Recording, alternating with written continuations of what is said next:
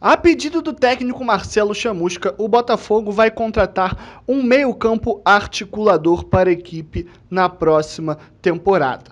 A primeira tentativa da equipe foi uma sondagem no meio de Giovani, que já foi descartado e agora o Botafogo está tentando com alguns concorrentes a negociação com o Felipe Ferreira e a gente vai conversar sobre toda essa situação aqui no nosso vídeo de hoje. Mas antes, não se esqueça de se inscrever no nosso canal, ativar o sininho das notificações, deixar o seu like, o seu comentário e compartilhar esse vídeo com os botafoguenses que você conhece, porque esse será o tema do vídeo do Reserva Negra de hoje. Meu nome é Cadu Barbosa e bora pro vídeo. O Botafogo irá contratar um meia armador para articular as jogadas da equipe a pedido do Marcelo Chamusca, que costuma utilizar este tipo de atleta nos seus times.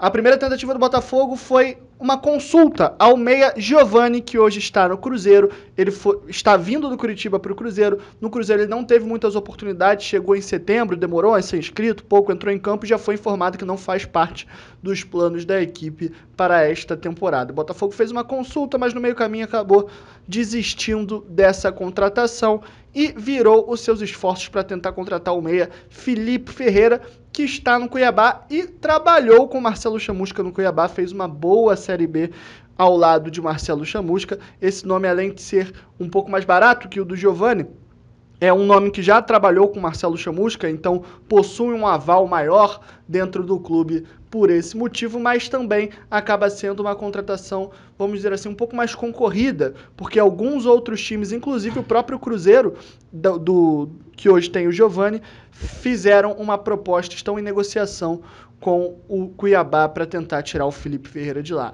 O Botafogo aposta que o relacionamento bom entre Marcelo Chamusca e o Meia, vindo do trabalho deles ano passado que deu certo, possa ser um diferencial para o atleta optar a vir ao Botafogo e conforme a gente for sabendo do desenrolar dessas negociações, a gente traz aqui para vocês no nosso canal. Então, antes de terminar esse vídeo aqui, não se esquece de se inscrever aí no nosso canal, ativar o sininho das notificações, deixar o seu like, o seu comentário e compartilhar esse vídeo com os botafoguenses que você conhece. Passa lá no nosso site para mais informações, tem o reservonegra.com.br, passa também aqui na nossa loja do Reserva Negra, o link está na descrição e por último, segue a gente nas redes sociais e é isso. Até o próximo vídeo, tamo junto, valeu!